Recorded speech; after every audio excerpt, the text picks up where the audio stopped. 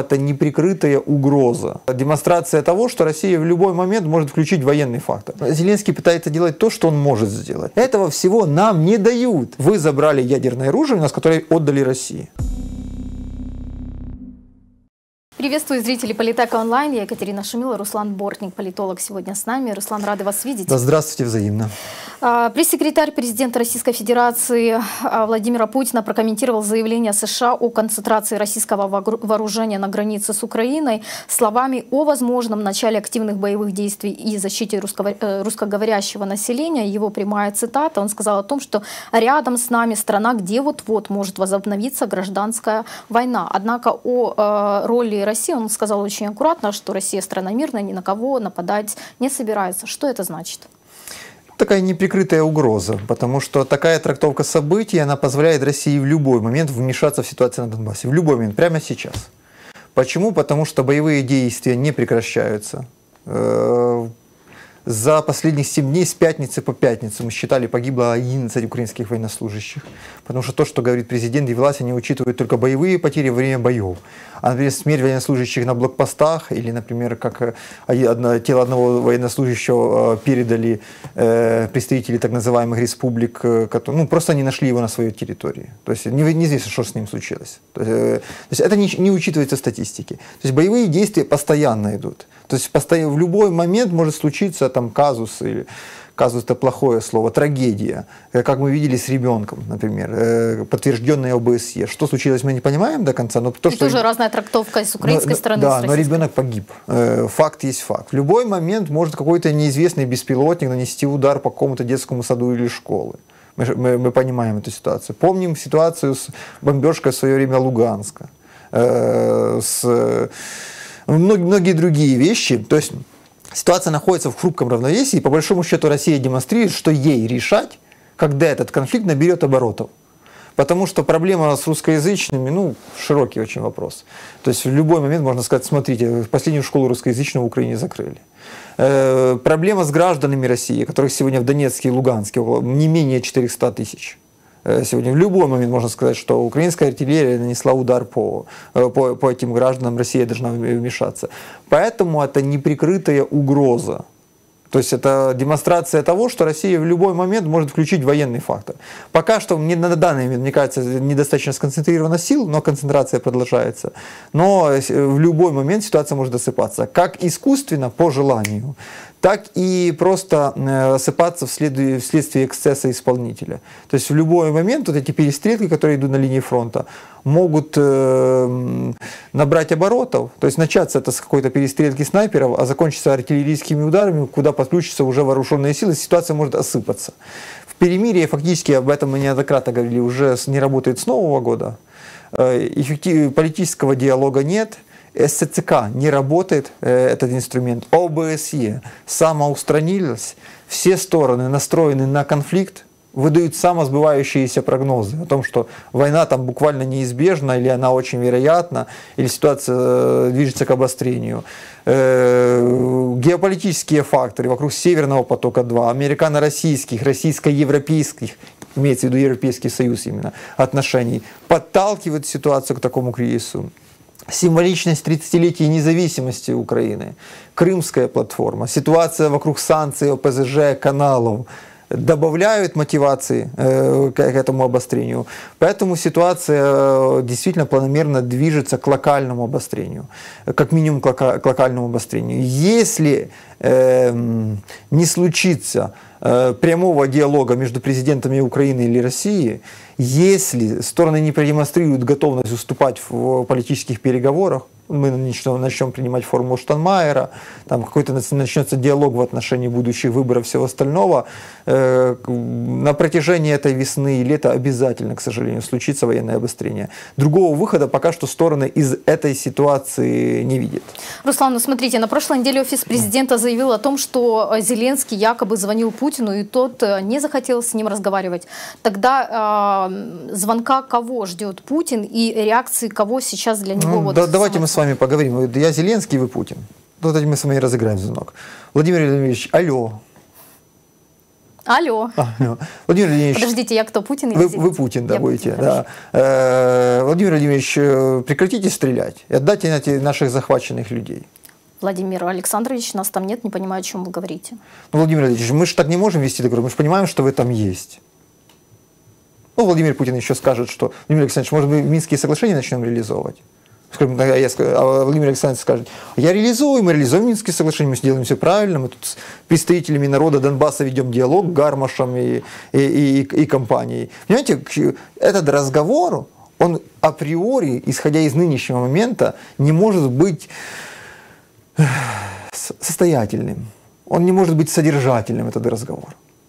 И этот разговор необходим кому сегодня? Владимиру Александровичу. Потому что он после итогов этого разговора скажет, я поговорил с Владимиром Владимировичем, я ему высказал четкую украинскую позицию, как бы мы договорились там вести дальше переговоры, вот какой я классный, успешный э, лидер нации, который ведет нас дорогой мира. Понимаете? Для чего это разговор Путина сегодня? Вот что Путин по итогам этого разговора может получить от Зеленского? Абсолютно ничего. Договаривались с Зеленским уже ведь раньше, правда же? Э, как бы э, на определенные шаги. Шаги не реализованы. По чьей вине я не знаю честно скажу, но шаги не реализованы. Поэтому вот э, Россия демонстрирует это нежелание говорить с Зеленским, каким-то об, таким образом, э, скажем так, дискредитируя его статус, занижая его статус э, в переговорной площадке. И, конечно, это угроза войной. Потому что военный инструмент – в руках России сегодня, э, э, и все чудесно понимают, что этот военный инструмент очень дорог, очень опасен для России, но он доступен, в отличие от Украины.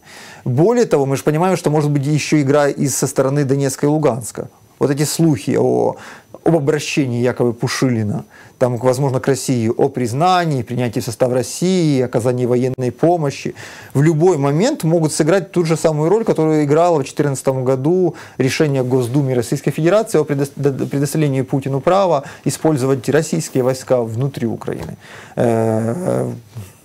Но сейчас э, Владимир Александрович активно ищет союзников. Мы помним, что на выходных у него состоялся рабочий визит в Турцию, угу. где Эрдоган э, уверил в том, что они союзники, и, э, конечно, всегда любая помощь, которая будет необходима Украине, будет предоставлена. Насколько Турция сегодня действительно может быть сильным союзником? Зеленский пытается делать то, что он может сделать. То есть и тут логика правильная абсолютно в этой части. Он пытается сколотить проукраинскую или антироссийскую коалицию. Но дело в том, что эти коалиции не удастся их сколотить в таком формате, в котором хочет сегодня Украина. То есть все будут говорить о приверженности территориальной целостности. Они, они об этом говорят 7 лет уже. Все. все будут высказывать поддержку Украины, но никто не отправит своих солдат в достаточном количестве умирать в Украине вместе с украинскими солдатами на Донбассе. Никто. Сегодня ни Германия, ни Франция, ни США, тем более Турция, не готовы отправить своих солдат в Украину и объяснить своим обществам, почему они должны умирать на Донбассе. Э, более того, такая интернационализация конфликта, вот представим себе, что нам повезло, и американские солдаты вошли на территорию Украины, и там э, какая-нибудь кавалерийская э, бригада американская, у них есть такое еще название, она разместилась на Донбассе. Она позволит России сказать, ну так смотрите, ну это что то, о чем мы говорили. То есть мы не ведем войну с украинским братским народом, мы ведем войну с Америкой. Мы же об этом 7 лет вам говорим. Понимаете, э, все эти страны, они будут способны, если возникнет кризис военный, оказать Украине помощь материально-техническую, то есть вооружениями какими-то, непередовыми причем, я вам сейчас это докажу, э, оказать Украине помощь какими-то инструкторами, разведданными, возможно, финансовую. Все. Даже Польша перед началом Второй мировой войны имела прямые договора с Францией и Британией о, взаимной обороне. То есть э, Британия и Франция тогда взяли на себя обязательство защищать Польшу своими войсками. И где были эти обязательства 1 сентября 1939 года? Или 15 или 20 Нигде они не были. Сейчас ситуация для Украины еще хуже. Почему э, э, поставки даже вооружения ограничены? Вы обратите внимание, я уже как-то приводил в другой студии, это, кажется, пример, когда Турция хотела, чтобы Азербайджан победил в армянской войне, армянско-карабанской войне, они их обеспечили им технологическое преимущество над противником. Предоставили им разведданные, современную технику, беспилотники, которые обеспечили техническое преимущество над Нагорно-Карабахскими и армянскими силами. Нам же западные партнеры не обеспечивают технологическое преимущество над, над Россией или над э, республиками. Не обеспечивают. Они дают те вооружения, которые позволяют нам в какой-то мере там, слабенько очень обороняться. Или, или выгребают старые склады, что еще осталось, что не продано в Сирию или в Ливию э, советских вооружений, стран Варшавского блока. Где современная авиация? Где современные средства противовоздушной обороны? Где современная радарная разведтехника? Где современные технологии связи? То есть этого всего нам не дают. Нам дают ровно столько, чтобы мы были способны удерживать статус-кво, но не были способны победить на Донбассе, тем более не были способны победить Россию. Условно, теория, если представить такой фантастический сценарий. Угу. То есть э, нам дают ровно столько, чтобы мы просто могли сопротивляться. А почему? Потому что они сами, у них есть отношения с Россией, они сами хотят побеждать в этих отношениях с Россией, менять этот баланс между Западом и Востоком, но не хотят, чтобы победители в этой войне, как ни парадоксально, вышла Украина. Никто, даже западные партнеры, не хотят, чтобы Украина победила в этой войне. Они хотят, чтобы она продолжила, была способна ее просто продолжать. Но, ну, Руслан, То же самое касается и, кстати, республик Донецка и Луганска. Их Россия технологическим преимуществом над Украиной не обеспечивает. Интересно. Ну, то есть замороженный конфликт, по э, сути. На истощение. На истощение. На истощение ограниченным набором средств. Хотя, смотрите, Руслан, тоже да. есть такое известное мнение, я уверена, вы его да. слышали, что это международный, э, это геополитика, где Россия и Америка выясняют отношения. И сейчас э, вот ключевое, что звучит, что я часто слышу, угу. что Россия сейчас как раз, почему так происходит, испытывает Америку на прочность. Если да, конечно, США никак числе. себя не проявит и конкретно не поможет Украине, тогда это будет означать победу России. А Китай сейчас за этим наблюдает, и э, для него, для Китая как для страны важно посмотреть, чем это все То самое, что происходит сегодня на а, восточных границах Украины с концентрацией российских сил. Э, а, кстати, наши военные, и даже Хамчак, и Данилов, они в этой части правы, что их там стало намного больше. Просто в 2014 году их там не было вообще. Россия не имела практически вооруженных сил на границе Украины, потому что считала это дружественной территорией.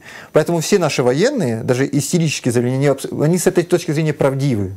То есть, как бы, что войск стало намного больше. В 2014-2015 году их вообще там не было.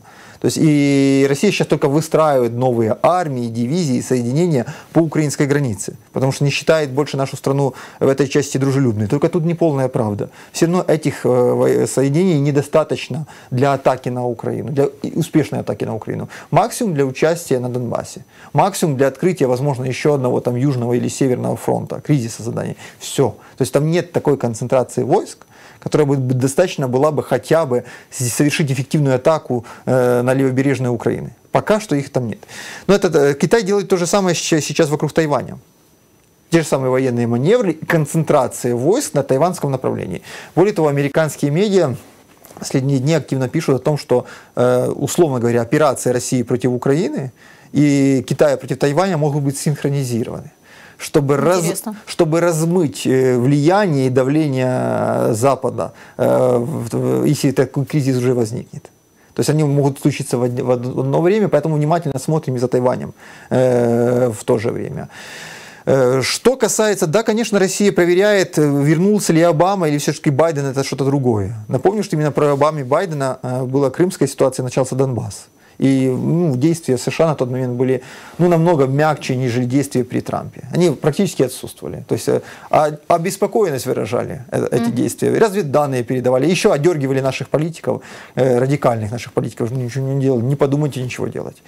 Вообще сегодня, если смотреть на эту ситуацию чуть шире, то мы имеем не геополитическое противостояние, даже геоэкономическое прежде всего. За, буду, за будущую новую э, промышленную революцию, за будущие рынки. Именно поэтому в этом геоэкономическом противостоянии государства редко разрушаются и границы редко меняются. Меняются, но редко. То есть это уже в, основном меняется влияние на рынки, на, на контроль над активами той или иной страны. Вот это геоэкономическое противостояние, в корне которого лежат большие корпорации – они, это касается и Востока, и, и Запада, просто на Востоке все-таки влияние государства, у, условно говоря, э, с, сплетение политических, управленческих элит и экономических элит глубже, нежели на Западе. На Западе все же экономические элиты чаще нанимают политические но не, не, но не так глубоко переплетены с ними, с ними. Вот это геоэкономическое противостояние за новый экономический раздел мира, за новые технологии до получения добавленной стоимости, вот сегодня мы его имеем. И Украина здесь важна как транспортный хаб очень, Э, мы действительно там, мост между Востоком и Западом. Украина важна как зона для ресурсов, прежде всего сельскохозяйственных, э, потому что э, уровень и ценность продовольствия будет возрастать. Да, некоторые мои коллеги, вот я недавно слушал Константина Григоришина, был очень интересный у нас там семинар, конференция, я думаю, что Дмитрий Джангиров вел, я думаю, что скоро он опубликует эту информацию. Он говорит, что да, вообще сельскохозяйственные земли не будут нужны, там их 80% будет свободно через 20-30 лет. Ну, пока что я такого процесса не вижу, я вижу процесс только роста цены на сельскохозяйственную продукцию во всем мире. То есть, и вот, э, вот, вот такого рода противостояние мы сегодня имеем в виду. Именно поэтому государство иногда и, и государство реагирует странно. То есть, что американское, что российское государство, что европейские страны, с точки зрения политической логики, иногда реагируют очень странно, неадекватно потому что на самом деле есть скрытые экономические интересы, которые не до конца всем понятны. Руслан, что тогда э, может сделать Украина, находясь в таком не самом привлекательном положении? Может ли как-то поставить вопрос с ребром? Как помните, это не, я понимаю, что не совсем правильно, корректно сопоставлять, но когда Греция не могла платить МВФ э, транш, она сказала, все, до свидания, мы э, банкроты, нам нечем платить, и какие тогда им ну, поставили вся, условия? Вся Греция куплена Германией сейчас, на корню да. скуплена практически. Что Украина сейчас может сделать? Тут есть э, все выходы сложные, э, но есть несколько моделей реагирования. Вот в нынешней ситуации, вот если бы я был э, на месте кого-то из тех людей, которые принимают решения, я бы пытался перехватить информационную инициативу. И не сколачивать эту дешевую картонную антироссийскую коалицию, которая не будет эффективна, а прежде всего сказать, ну ок, мы договорились Минские соглашения, вы подтверждаете Минские соглашения, Донецк, Луганск украинские, Владимир Владимирович, украинские. Знаете, мы формулу Штанмайера завтра принимаем на заседании Верховной Рады. Ну, вводим ее в действие после выборов. Ну, как и весь закон об особенностях отдельного, особенностях самоуправления в отдельных так районах. по тем же выборам мы не можем договориться да. с Россией. Ок, мы, вот вы хотите избирательный закон? Вот мы его вот предлагаем. Вы вас устраивает такой избирательный? Давай примем такой закон избирательный, без проблем. А теперь, Владимир Владимирович, давайте э, проводим разоружение, отводим войска, допускаем украинских представителей на эту территорию. Мы даже блокаду снимаем экономическую. Потому что мы больше, мы все равно Донецк, Луганск в объятиях задушим экономических. То есть это все равно наша территория ближе, нам выгоднее, ну как бы им выгоднее все равно с нами торговать. А теперь что вы будете делать в этой ситуации? Давайте давайте нам обратно Донбасс. Да, мы берем его в виде федеративного субъекта. Потом решим через 20 лет еще. Спросим у народа украинского на референдуме, как быть с Донбассом, какой статус его должен быть через 20 лет. Но есть же много других это, вопросов. Это, Амнистия. Да, то же самое. Проведем амнистию, только не для всех, а для тех, кто не приступ, совершили преступления против человечности. Ну и, конечно, амнистия не может касаться граждан других государств. Ну, весь ваш партактив, условно говоря, ну, это граждане другого государства. У нас не разрешено двойное гражданство в Украине. Они не могут быть, занимать должности любые в органах государственной власти, эти люди, если у них есть паспорт другого государства.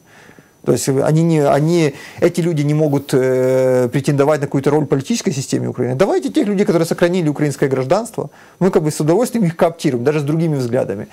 Надо перехватывать политическую инициативу. Европа скажет, смотрите, Украина идет на компромиссы. Украина делает то, что, о чем мы договорились. Владимир Владимирович, вы что? Вы что? Что вы, что, почему вы как бы, пытаетесь упираться этому сценарию? В конце концов, Владимир Владимирович скажет российскому народу, российский народ, смотрите, мы победили.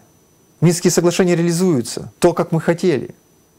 А вот что будет уже после Путина и с Донбассом после Путина, это уже другая история. Это уже будет другая модель, которая будет находиться в нашем управлении, в наших руках. Это один подход. Второй подход, э, он сложнее намного э, в этой части, сказать западными партнерами. Смотрите, вы нас фактически разоружили. Вы забрали ядерное оружие, нас которое отдали России она же уехала в Россию там. Что, uh-huh. что, э, смотрите, мы понимаем, что сегодня заявить о том, что мы восстанавливаем ядерный статус, это, наверное, превратится в страну изгоя сегодня. Но давайте, вы не можете принять нас в НАТО, давайте каждая из этих стран, которая нас разоружала, заключит с нами оборонное соглашение, что в случае конфликта э, с третьей страной вы обязываетесь прийти к нам на помощь во своими вооруженными силами. Такие соглашения США имеют с Японией, Тайванем, многими другими странами. Да, они часто не выполняются, но хотя бы что-то, эти соглашения. Ок, вы э, разоружили нас, мы отказались от ядерного оружия, но давайте снимем ограничения на ракеты средней, дальней, дальней дальности.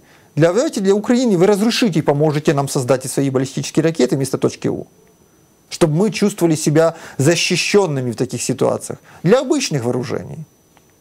Ок, вы не принимаете нас НАТО, вы там не доверяете нам до конца, дайте нам флот. То есть мы не можем его построить или купить сегодня, этот флот. Что вы, сбросьтесь по одному кораблю, каждый, и мы создадим себе флот. То есть на самом деле есть возможность договорить. Ок, вы не можете всего это делать, не хотите ругаться с Россией. Я понимаю, мы, мы вас понимаем. Дайте нам доступ на свои рынки. Не надо нам помогать так. Давайте создадим без, зону без торговли, свободной торговли Украина-США. Или Украина ЕС, не то, что мы имеем с ограничениями, а реальную зону. Или Украина-Китай. Мы заработаем столько на вашем рынке, что мы еще вам будем помогать потом, в будущем. Но это требует, понимаете, выхода из этих парадигм. А нас сегодня умышленно, в том числе и наша власть, и российская власть, и западные партнеры, загоняют парадигму до черное-белое, загоняют парадигму войны на истощение, загоняют парадигму кризиса без конца. Вот в этом они нас специально держат. Это правда. А как вам инициатива Климкина, чтобы э, НАТО э, создали свою базу в Черном море? Конституции запрещено, надо Конституции менять. В принципе запрещено. На размещение ну, когда территории. нужно, мы очень быстро меняем Конституцию. Ну, ну пока что таких процессов нет. Во-вторых, это просто, знаете, красная тряпка перед Россией. Тогда это еще дополнительный аргумент для э, российского руководства сказать своему народу, смотрите, нам нужно решить украинскую проблему силовым путем. Иначе у нас на НАТО, на этой территории, на, до базы НАТО, от Москвы до базы НАТО будет 300 километров, условно говоря. Мы будем беззащитны в случае каких-то ударов, войны и всего остального. Это просто красная тряпка, которая не добавляет нам безопасности, которая демонстрирует, конечно, наверное, такую э, преданность Климкина э, НАТО, но не украинскому народу, не нашим национальным интересам и которая нам не решает проблему. Пока эту базу построят, Россия уже 10 раз может торгнуться. Ну и, Руслан, сейчас э, на сегодняшний день мы можем спрогнозировать, как дальше будут развиваться события, хотя бы там в перспективе недели? Не хочу. Война может, э, обострение на Донбассе может начаться в любую секунду. Сегодня настолько все натянуты луки э, в любую секунду. Украина да. не готова? Конечно, готова. То есть, но э, мы готовы, на, по большому счету, на максимум наших возможностей. Но наши возможности крайне ограничены.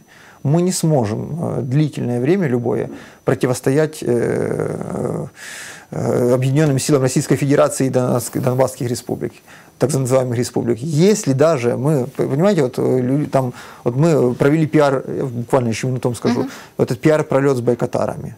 А мы, ж, мы должны понимать, кажется, там классно, байкотары пролетели и все остальное да, для э, общества.